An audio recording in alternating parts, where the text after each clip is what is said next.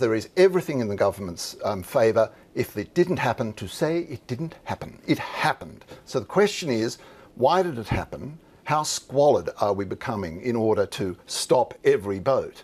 And what happens now? I mean, if I were a people smuggler, I'd gather a group of people together, steam out into the Indian Ocean, steam around for a while until the Australians heard about it, collect me money, and take them back again. It'd Be a fabulous trade. So, so David says it happened. Do we know exactly though what it is? If we actually do get the um, AG's review, we'll get down to all of those facts. I think though, if you're a reasonable person in the street, you have the foreign minister and Peter Dutton last week just shooting from the hip saying no, it didn't happen. You've got various people saying, well, if it did happen, it you know, it happened for the right reasons. You've now got everybody being incredibly non-committal. I suppose one of the things that jars with me is that the reason that we were stopping the boats was to break the business model of the people smugglers.